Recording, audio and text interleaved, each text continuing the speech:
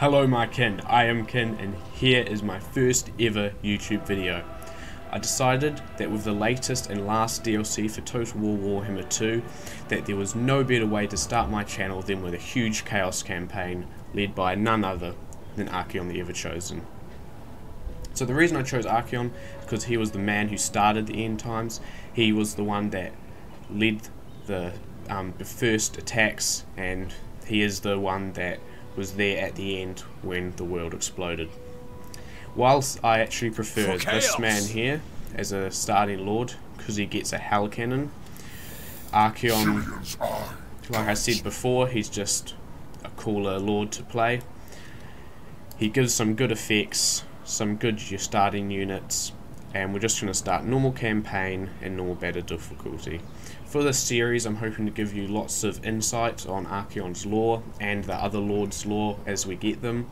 As we take out lords I'm hoping to give you lore as well. So I'm hoping to make this a very informative YouTube series as well as some cool gameplay. So let's start the campaign. So Archaon was actually born Diederick Kastner a few years after the first Great War of Chaos, which was led by Magnus, a Chaos champion. His father was a raiding Norscan champion from the Varg tribe, which we'll see in game, um, from the north, while his mother was an innocent Nordlander, which is in fact another faction in game, from the south. So he started off as a man. Um, we'll continue with the lore, we'll just watch this opening cinematic and then get onto it.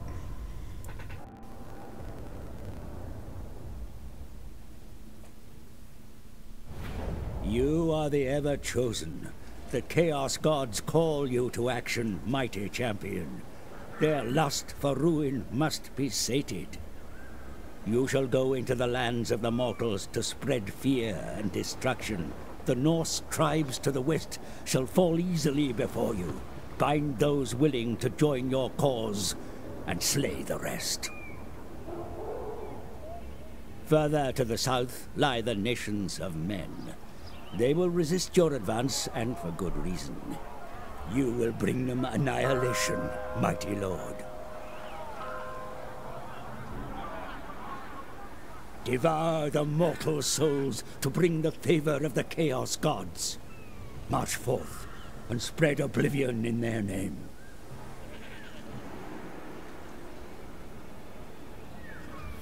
There we go, nice and simple. So Chaos, I've chosen Chaos again because they play very simply, so it will allow me to focus more on the lore than the actual gameplay. So if you're wondering, the man faction we saw here was actually Kislev, and Kislev falls reasonably quickly in the end times, but we'll see them get more units and more legendary lords in the new Warhammer 3 game. So it's like I was saying before, Archaon was actually a human and he was born in Nordland. When his mother died, it's not said how she died, he was adopted by a local Sigmarite priest and became a Knight Templar for the Order of the Twin-Tailed Comet, Twin-Tailed Orb, fighting in service of Sigmar. Which is a bit ironic, however, because he ends up fighting against Sigmar in the end times. So anyway, we're just going to simply move. So we've got 25 left to go on encampment campaign wise what we want to focus on is getting rid of these marauders because if you see in the building tab this here is pointless.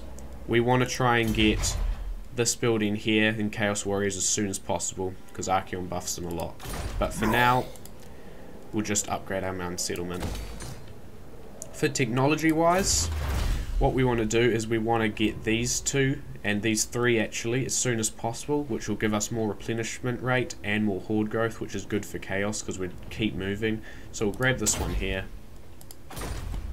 And as chaos when we destroy a settlement we can raise a, a tribe. And if we raise four tribes we'll be able to recruit Sigvald and I really like Sigvald lore wise I think he's really interesting and a good character so hopefully we can get him as soon as possible. Anyway, that's all we're doing first turn. Next turn we'll attack that. Diplomacy wise, we really don't do diplomacy. We could probably get a treaty with them, but I don't think it's worth it because we just want to kill him to get his trait. Anyway, there we go. So, in a book written, in a book of divination written by Necrodomo the Insane, who's another man from the lore, it was said that North and South Blood would meet to spawn the greatest ever chosen. When Daedric, who's Archaon, found out about his heritage and the eventual destiny, he travelled all the way to the Holy Temp Temple of Sigmar in the cap imperial capital of Altdorf, which is where you start if you're starting an Empire campaign. So when he found that out, he tried to go there to, to do anything to stop it. So let's attack this, declare war. Destroy. However, when he went to the temple, he was not replied. No one replied, and he then he knew that he was doomed. In his despair, he renounced the god Sigmar, but still held on tightly to his hate for the dark, evil gods of chaos, and he accepted his fate. And side note here, even when Archaon became the Ever Chosen, he still continued to resent the Chaos Gods for the pain and misery they had brought among him. If you don't know who the Chaos Gods are, we, we can just auto this, we won't lose anyone. If you're not sure who the Chaos Gods are, there are four of them. There's Khorne, who is the blood god and the god of war. There's Nurgle. Oh, what's this? Sort of striking. Anyway, there's Nurgle, um, who's the god of disease and pox and stuff. He's, he's quite a cool god, and all his stuff is really gross. So see here, we could awaken a tribe, but we want the money for the technology, so we'll grab that right now. So there's the um, there's Nurgle, then there's Slaanesh, and Slaanesh is the god of um, pleasure and twisted desires and stuff. He's interesting to say the least. And then the last one is Tzeentch, who is the god of change, and he's quite interesting himself. He's probably the lesser known of the four Chaos gods, but he's he's pretty cool. Anyway, for Archaon, leveling up, we could get this right now, which would be very good because all our guys are heavy armoured and probably lose vigor faster than other units. But we're just going to grab Route Marcher, give us more campaign movement range. And we also got that sword, we got here. Keep it on him, he's the only one we have at the moment. And we'll get our new technology. And that's the turn done. So once Archaon found out about his destiny, he started searching for treasures of chaos so he could become the Ever Chosen and fulfill his destiny. The first of the treasures he sought was a special mark of chaos that held the blessings of all four chaos gods, combining all the advantages of the individual gods, blessing the bearer with all their power. Okay, so these guys have come here, we can go take them. So his first step was go was to go to the altar of ultimate darkness in Naggaroth, which is a settlement over in Naggarond where you can get if you're playing as the Dark Elves. He had a band of Chaos Warriors that he named the Swords of Chaos, and they battled their way to the Citadel. I'm just wondering... No, they're not one of the Regiments of Renown. Anyway, let's go and attack them. A step too far. We might have to play it because they've got their Fimir warriors. That shouldn't be too hard. You dare fail the slaughterer. So once Archaon and his buddies, oh yeah, we'll fight this. Once Archaon and his buddies had um, forced Citadel, they were met with a darkness said to be darker than the heart of even a dark elf, which is a pretty considerable darkness. Archaon was unafraid, however marched off alone into the pitch black he'd had since he was a very young boy. Uh, we'll take that, that's fine. So, we'll set up. So they've got a reasonable decent army. Hopefully we can take them out without much problem. We can harass them with them the dogs here. Chaos Marauders! So once they had gotten inside the citadel, well Archaon had, he finally has made his way to the um, to the altar, but as he marched, uncountable amounts of monsters and creatures threw themselves at him. Sadly, his steed was torn apart by the monsters. However, when Archaon saw the harm that had come to his dearest friend. He broke out into a frenzy and ended up killing all of them. So there's the first. That was the first of Archaon's many deeds. And needless to say, when he finally got to the altar after killing so many of the monsters, he gave the gods the skulls and hearts of all the monsters he had killed as tribute to be acknowledged by them. And it, it is said that when the when he came out, his swords of chaos, his chaos warriors, saw them, saw him with the mark of ruination, the mark of the chaos gods on his forehead. So that was one of the first artifacts he got to announce himself to the gods. And so the gods finally were not they knew of the Ever Chosen and they knew that the Ever Chosen was now alive. Oh, so it looks like oh no, we're good. We can try and flank them with our horses, with our hounds, sorry. Chaos Marauders! Charge on! Archaon could shoot a fireball. Fireballs are always really fun to use. Oh, there we go. So we can charge Archaon in. Actually, we'll go fight the Lord. So if you're wondering, yes, Archaon did have many other artifacts that he had to fight, and I will tell you about those as we play. Okay, our horses are getting... Oh, we're getting attacked here. Hopefully we can just draw them off.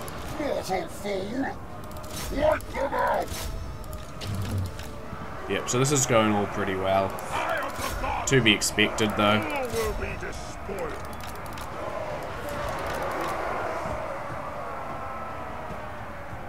So after being branded by the Chaos Gods and getting their blessing, Archaon was told was then meant to go and get the armor of Morkar, who was the very first ever chosen.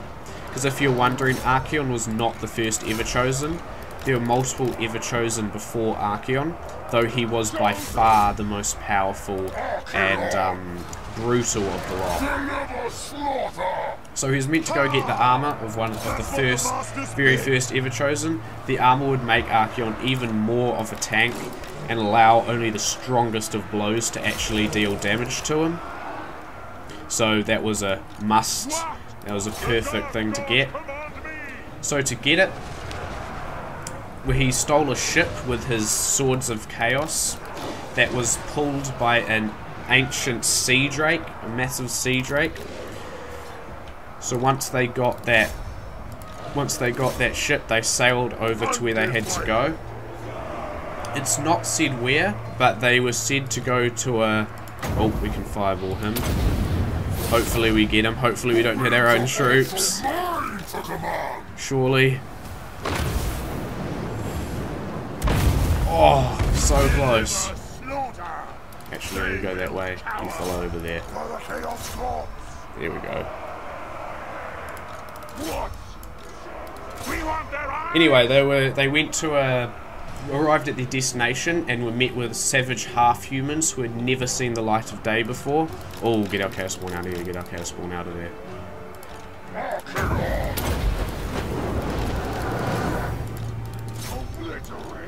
We might be losing a hound unit here.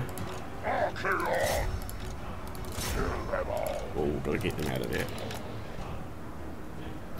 Anyway, they were met with savage half-humans, and it took them six days to completely destroy the the group of half-humans and destroy their city.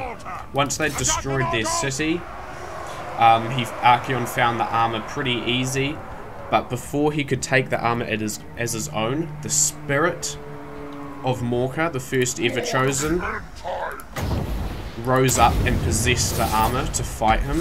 Let's see if we can take him out here. There we go, done.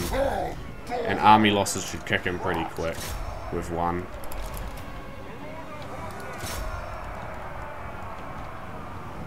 Yeah, we've won this.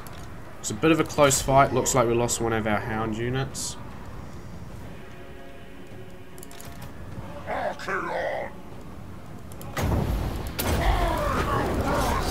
Yeah, there we go. They've broken. Done. they have regeneration? No, they don't have regeneration. That sucks. There we go, they're broken.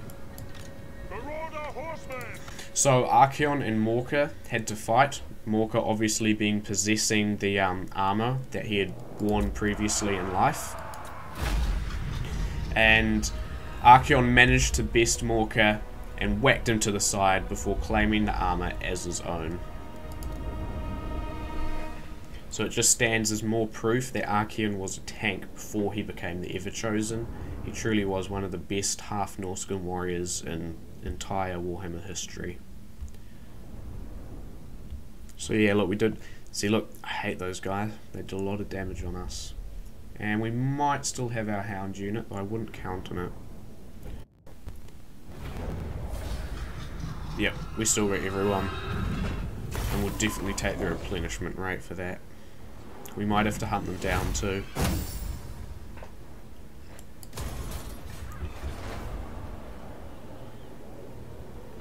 Moving. Yes, we're looking pretty beaten up. However, we can give Archaon this. We could chase them down. We might have to play it though.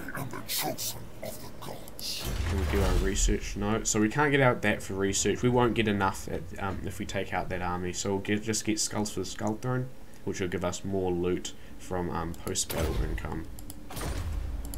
We might as well hunt these guys down. So if we order that, yeah, we lose two hounds and chaos spawn. We'll have to play that as well and just deal with them to our skirmishers and um, Archaon. It'll be pretty easy. So yes, Archaon went on to claim more Chaos artifacts, which I'll describe in a later couple videos. Um, and he obviously he took came the Archaon he is now. Now, well, that's perfect. Not that we have much magic anyway. Very well. Let's just focus on this fight for a while. We'll move our hounds and chaos spawn way back, and they can hide in the forest and just sit this one out. Okay. Here we go. I will see. We can probably make this go a bit faster. Just don't want to use our guys. Yeah, just run.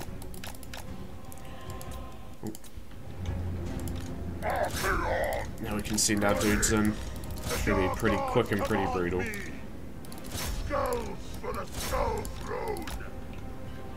We can just move them around the side if we need them later on.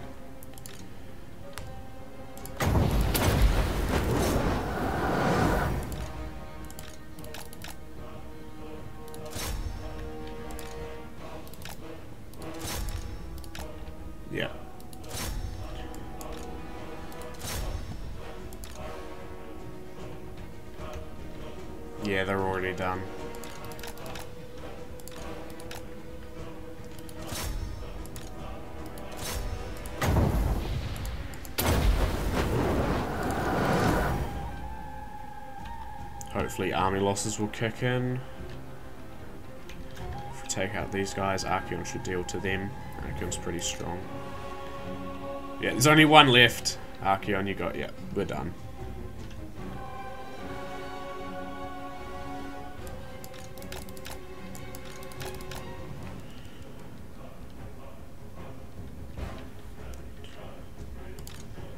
Oh, we don't want them going after our hidden units.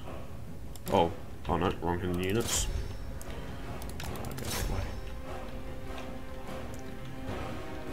They shouldn't take out. There we go, and they're done. They'll get melted. Done. Easy one. There we go. We did lose some, but they're just Chaos Marauders. We want to get you get rid of our Chaos Marauders as soon as possible, because the Chaos Warriors are just so much better. Like I said before, we want to get that building and then just get rid of the Chaos Marauder building. It's not any use to us. So for this hunting down some heroes and lords from the other factions to make Archaon even more of a tank. There we go. Ooh. Got some armor.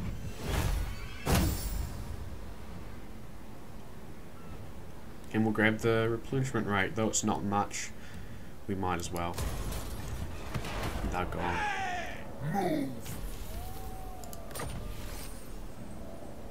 Ooh, nice. And for our next skill point, we'll get dominating, pre dominating presence. It gives everyone some more leadership. Though we probably don't need it, it's always another good one to get, just like Route Marcher. And then we'll just move our way towards Frozen Landing.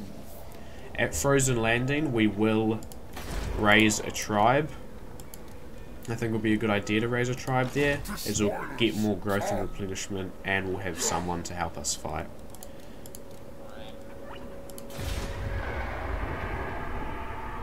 Um, so I said Sigvald, he we raised four tribes and we'll get Sigvald. If you're wondering how we get Kholek Sun Eater, we just got to unlock the Dragon Ogre building, which we probably won't be getting for a while. I'm more focused on getting Sigvald than um, Sun Eater. Though Kholek does have some good lore, it just it's it's okay, but it just isn't as good as Sigvald's. So we can probably attack that. We might have to play it because we might lose our Chaos Spawn, but we'll just see what it's like.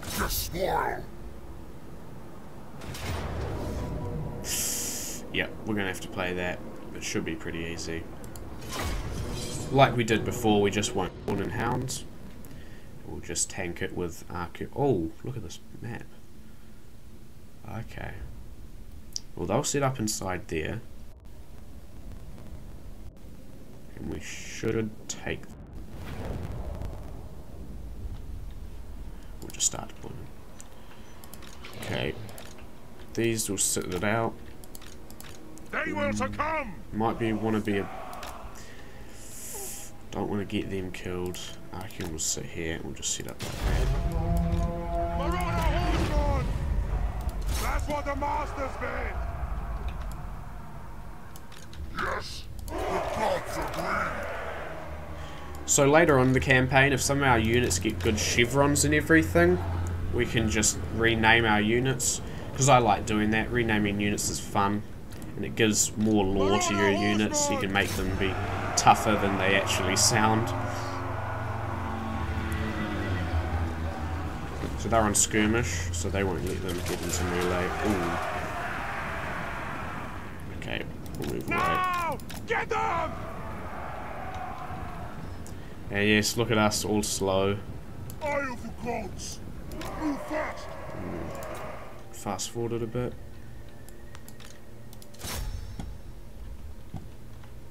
Hopefully they just let us take out their troops. So we'll just beeline Archaon for their lord. Oh, we're melee, that's fine. We can take them. There we go, and Archaon's fighting their lord we can charge our guys through. Chaos Marauders! Lynch's many glories!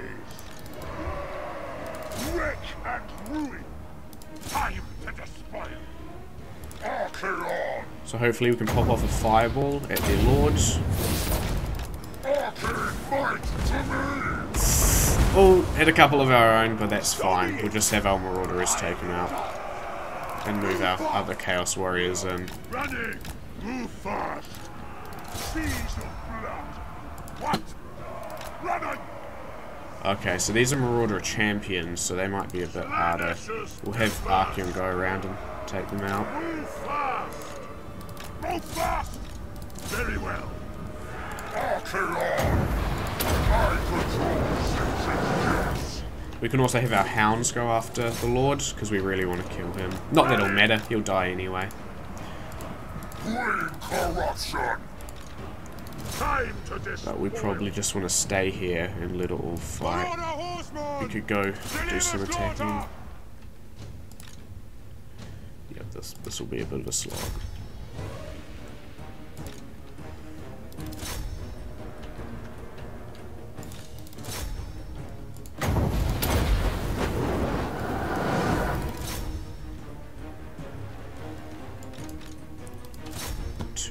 Easy. Is the Lord gone?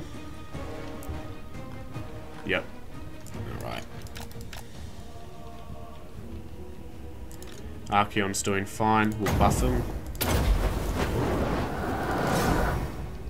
Oh, and also we can use his shield. Won't do that though, won't bother.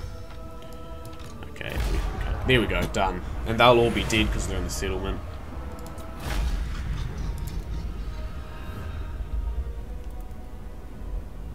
There you go. Too easy, too easy.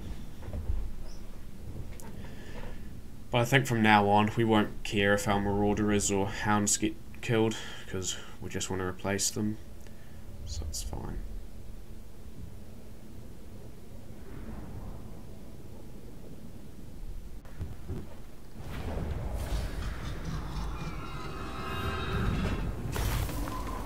Oh, that's a good amount of money.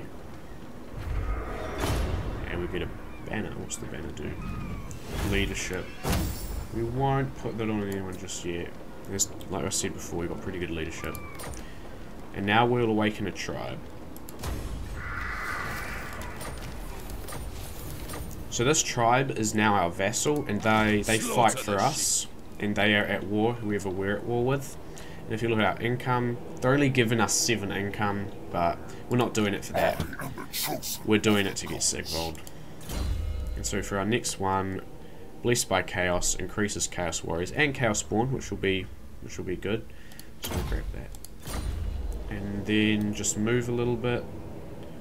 The gods direct Oh, we're gonna I will farm not here. disgrace my I don't think they'll get ancestors. to us.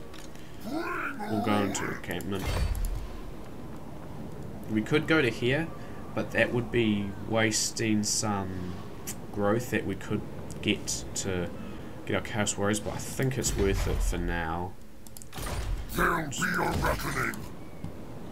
Got plenty of money, we've got our technology going, we're fine. Might want to recruit another horseman unit though. They can be quite good to annoy the enemy. This is all going pretty well. Oh. Here we have Throt the Unclean. If you don't know Throt's lore, there's not much to know about him really. He's one of he's the most twisted and ingenious master mutators of Clan Moulder, which is the um, the faction he plays with. He's completely mutated as a result of the warpstone usage. He's one of the nine lords of Hell's Pit as well, and known for creating lots of monsters. In fact, the settlement he starts with is Hell Pit right here, so he's probably got this as well. So I think he's in March. Lord of Hellpit. We might as well take him. Have this world. Because if we take him and beat him, Archaon will get Throt's character trait, and I'm pretty sure that's a good 10% hit points for Archaon. Yep, we're declaring war. And that's a decisive victory. We don't even have to play it. Boom. And we might as well take the favour because we want lots of money for our next technology. And as far as I know, Throt has no lore in the end times. He just doesn't seem to be around in the end times. I don't even think it's described how he dies, if it's in the end times or if it's not. So that's a bit disappointing. But that's our first legendary lord taken out and dealt with. And we'll give Archaon, we'll upgrade Archaon's Fireball, because that's always very good to use. And he should have a trait, Deep Cleaner, 10% hit points. So right now we'll head take out the dwarfs. No, I will not shame my clan. Hopefully he comes out and attacks us on his own, because that'll be a lot easier than attacking the settlement. My destiny lies this way. We'll just march up. Oh, they've got an army there. Never. Yeah, we no. should, we should be fine. Syrian's eye. So we, we just set up camp here. And wait for them to attack. We should be alright. So I think on that note everyone, I'm going to end my video here. Just before our war with the dwarfs. Thank you for watching my first video. I hope it was informative and I hope you enjoyed it. If you did, if you did like it, please show your love in some way. It'll encourage me to make more of these videos and hopefully grow my channel. Other than that, I'll see you next time, everybody. Goodbye.